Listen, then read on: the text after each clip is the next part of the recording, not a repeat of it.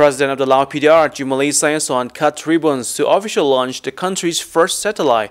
It is said by Minister of Posts and Telecommunication, Hiem Phommachanh, that such project is aimed to contribute significantly to socio-economic development in Laos.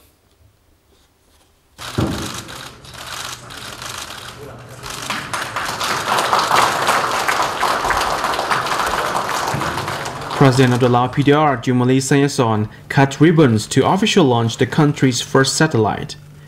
It is highlighted that a groundbreaking ceremony to mark the beginning of construction of the satellite station took place in Hadxaifong district, Vientiane.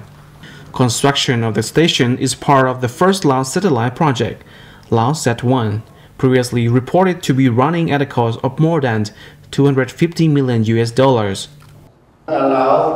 According to Minister of Posts and Telecommunication, Hiem Phommachanh, the Laosat 1 project, once complete, would contribute significantly to socio-economic development in Laos. Laos has been attempting to develop satellite projects to make full use of the two locations owned by the country and drive socio-economic development, particularly of the telecommunications sector.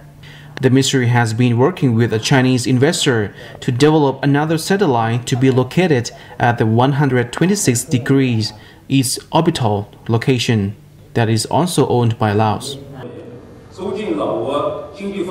It was reported previously the Chinese investor Chengdu Linhai Electronics Company Limited would spend 960 million US dollars developing the joint venture project.